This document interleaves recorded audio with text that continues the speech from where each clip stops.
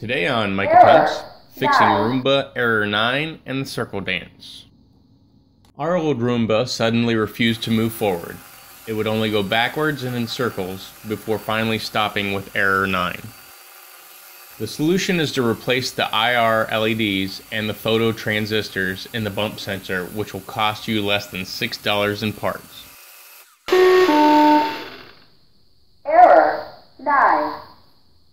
Start by removing the dustbin and the top cover. Flip Roomba over and remove the side brush and the bottom cover.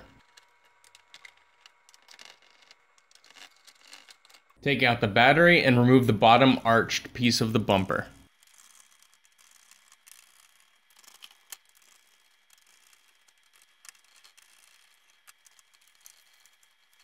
Flip Roomba upright and remove the top. Be sure to pull the bumper wire out of the groove before pulling off the top. Lift off the white circle and remove the button assembly. Remove the plastic film before unscrewing the circuit board.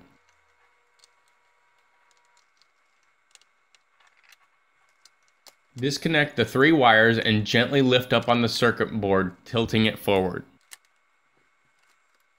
Remove the two bump sensors at the front, each held in with two screws.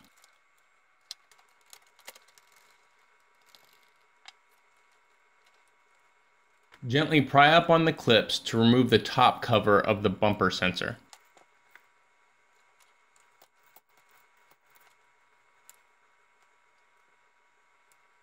Carefully remove the tiny spring and then pull up on the little circuit board at the same time as you lift the long black arm.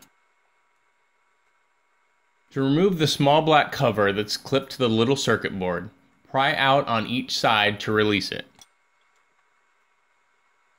You'll have to forgive me. I haven't touched a soldering iron in years, so I'm a bit rusty. Use desoldering braid to remove the old IR LED and photo transistor. Clip off the used portion of the braid and push in on the end to create more surface area for wicking away the old solder.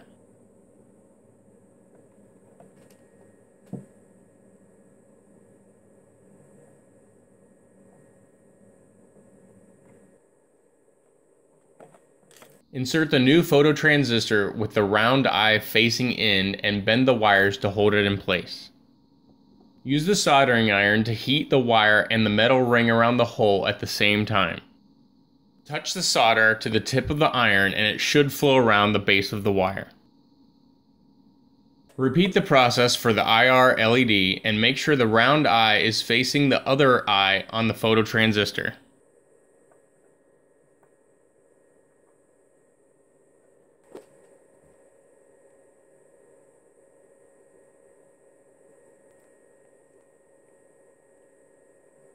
When you're finished soldering, clip off the ends of the wires.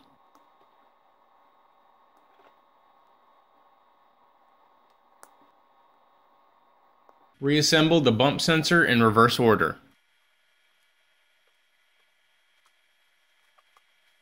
Use tweezers to reattach the tiny spring.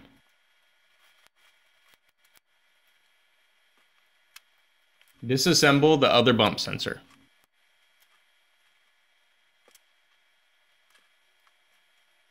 Desolder the old components.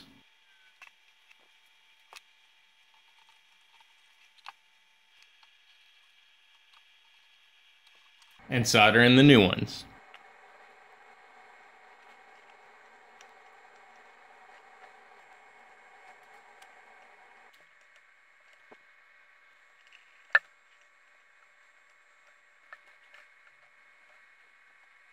You only need a tiny amount of solder to make a good connection. If you end up with a big glob, you can use the desoldering braid to suck off the excess solder.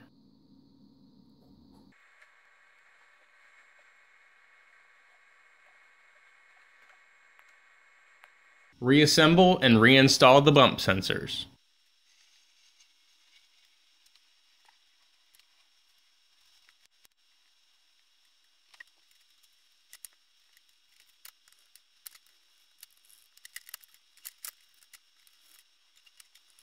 Reinstall the circuit board and reattach the three wires.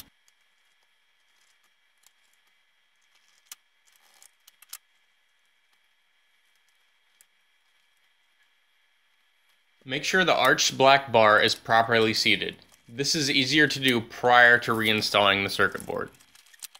Reinstall the plastic film and the button assembly, followed by the white circle. Clean the bumper windows and the round eyes on the arched black bar. Reinstall the top, making sure to guide the bumper wires back into the groove. Line up the bumper, flip Roomba over, and install the bottom arched bumper piece.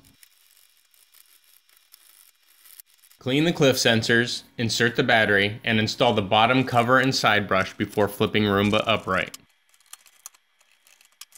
Reinstall the top cover followed by the dustbin and you're done.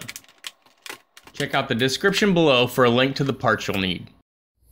Feel free to rate this video, add your comments and questions below, and subscribe for more.